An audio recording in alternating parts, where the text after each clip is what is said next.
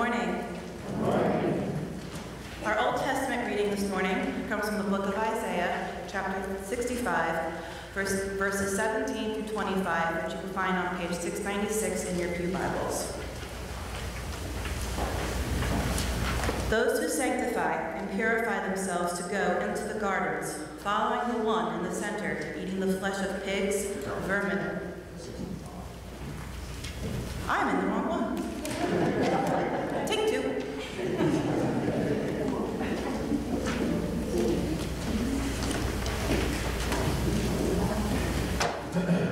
For I am about to create new heavens and a new earth. The former things shall not be remembered or come to mind, but be glad and rejoice forever in what I am creating. For I am about to create Jerusalem as a joy and its people as a delight. I will rejoice in Jerusalem and delight in my people. No more shall the sound of weeping be heard in it, or the cry of distress. No more shall there be in it an infant that lives but a few days, or an old person who does not live out a lifetime. For one who dies at a hundred years will be considered a youth, and one who falls short of a hundred will be considered accursed. They shall build houses and inhabit them. They shall plant vineyards and eat their fruit. They shall now build and another inhabit. They shall now plant and another eat.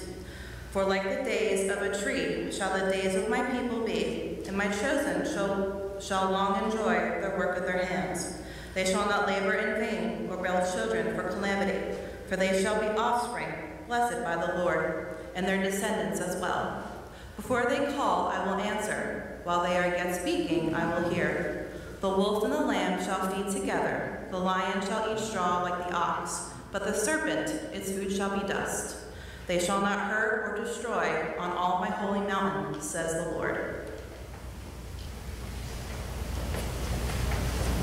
Now this one I know I marked correctly.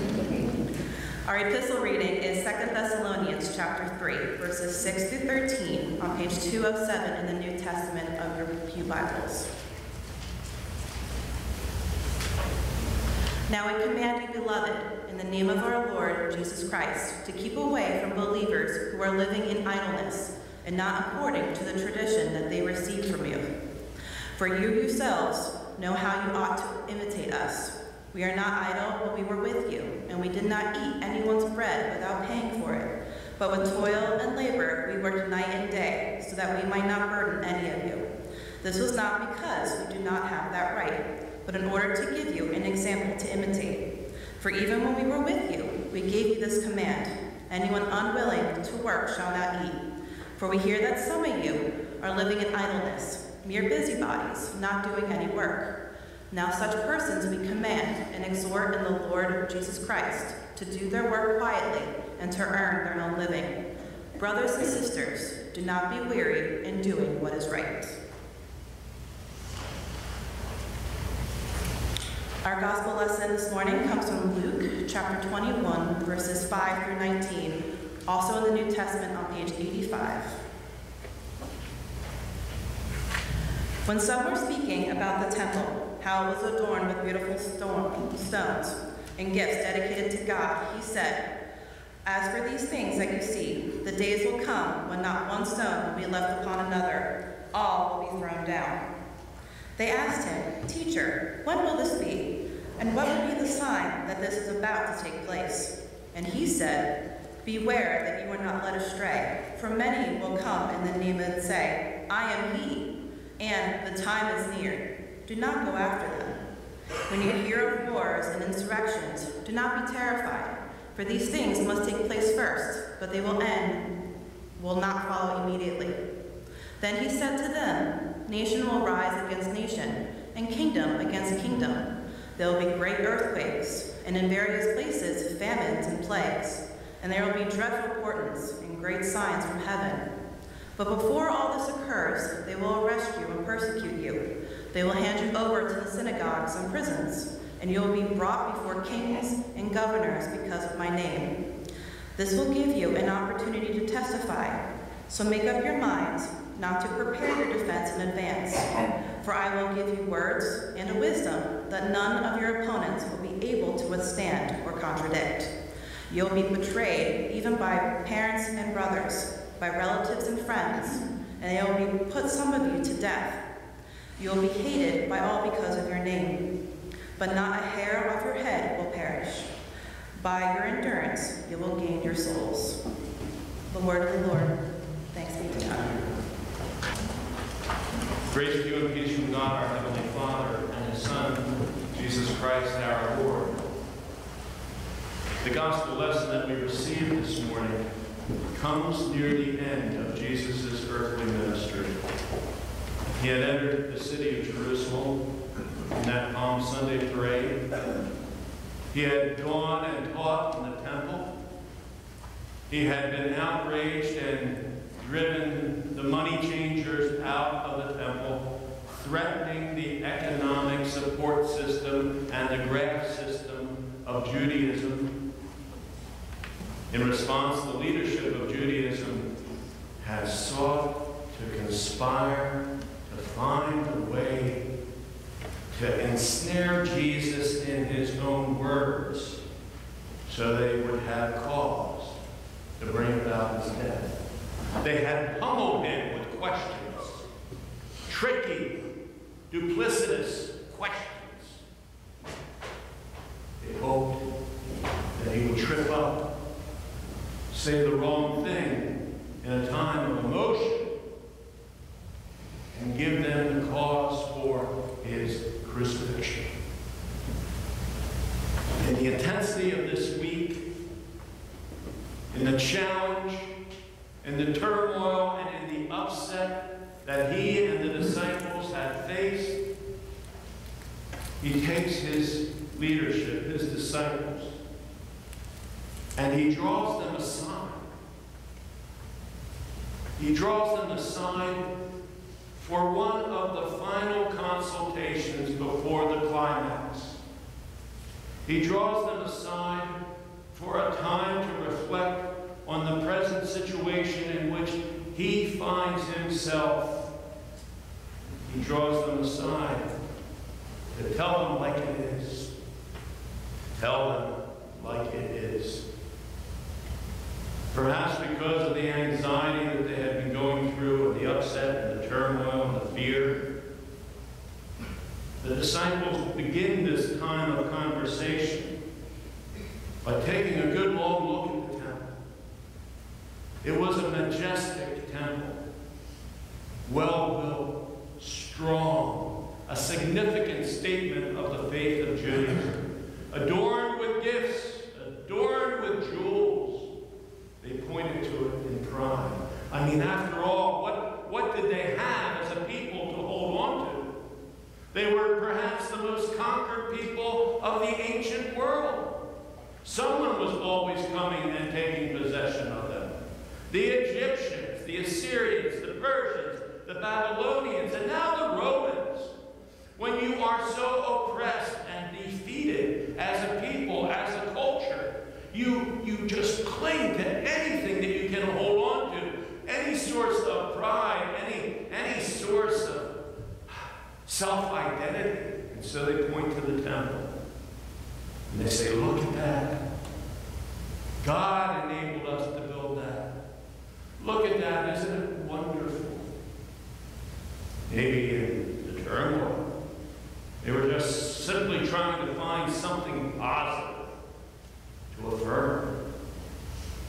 As I read the passage, I thought to myself, if America was so conquered, so beaten down, so fractionalized among the various sects like Judaism, if we so, so turned in on ourselves like Judaism, so desperate, what would we point to? What geography would we point to? What building might lift us up?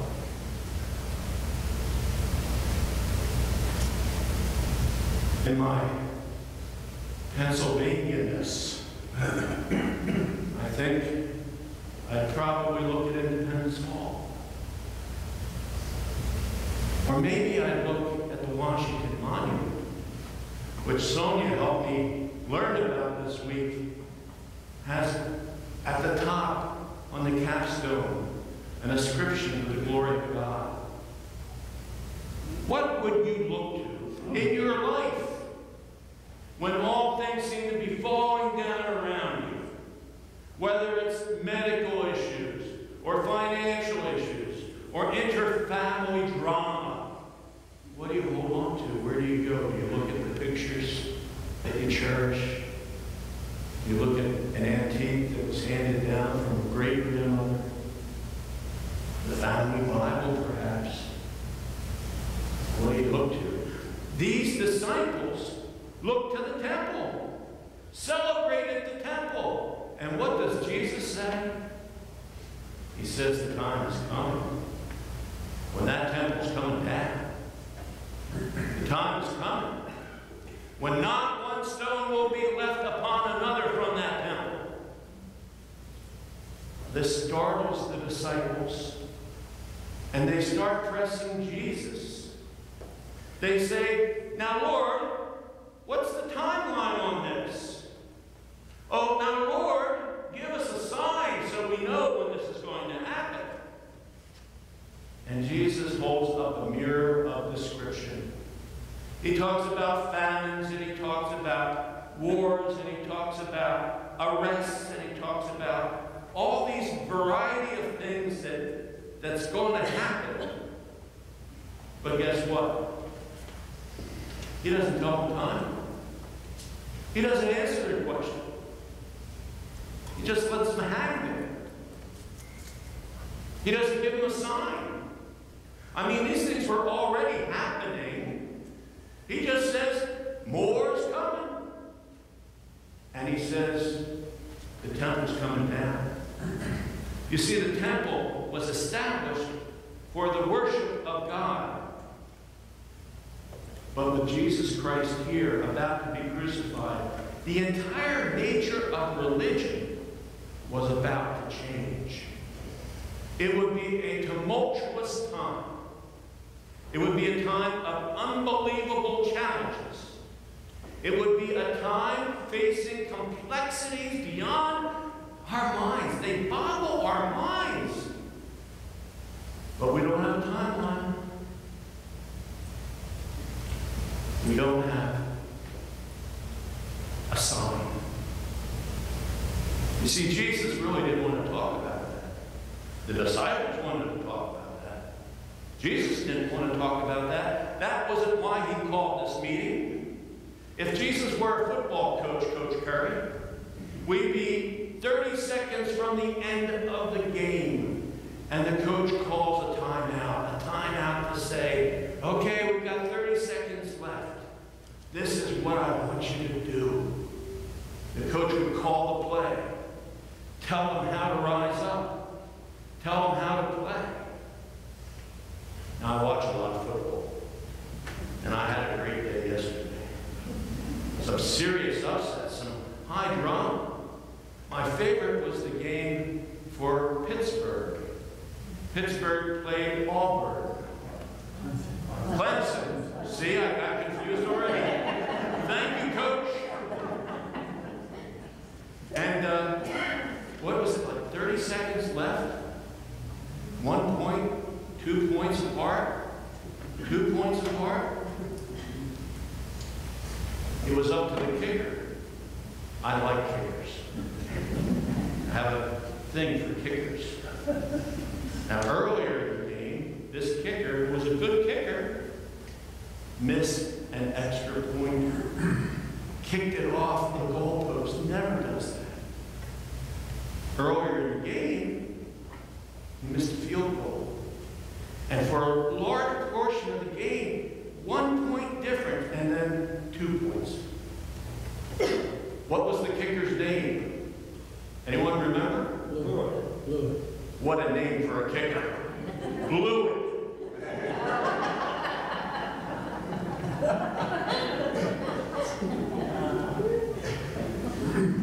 After he missed his kicks, he came to the sideline. Do you know what the coach did? Comforted him and kissed him on the cheek. And the kid into a smile. Coach calls time out, and out Floyd goes. And he makes the kick. And the upset is accomplished. I loved it. This is what's happening here. Our coach, Jesus, is calling time out to give us the play. That's what Jesus wanted to tell us about. With all the persecutions and with all the turmoil and with all the wars and with all the stuff, all the political campaigns in creation. God help us. And here's what the Lord says. Four do's, four don'ts, my sermon notes. He says, do not be misled by false messiahs. He says, do not follow them. He says, do not panic. He says, do not prepare your defense beforehand.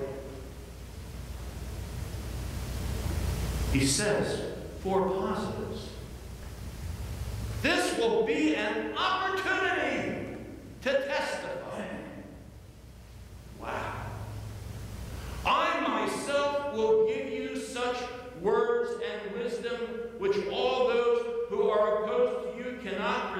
Or refute. Not a hair of your head will be lost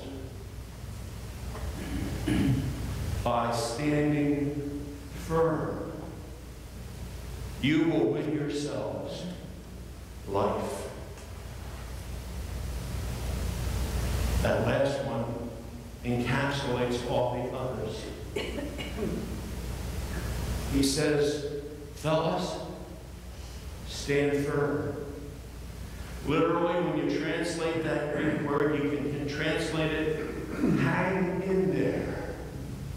In the midst of the turmoil, the wars, the pestilence, the upset, the persecution, in the midst of all the stuff that comes to us in life, Jesus says, hang in there.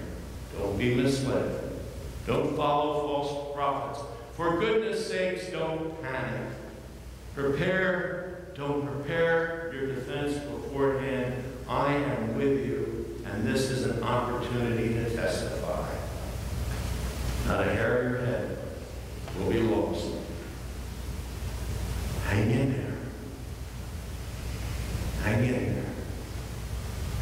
As Jesus is about to go to his cross, he tells the people of God not to panic, hang in there, that he provides for us and guides us and directs us.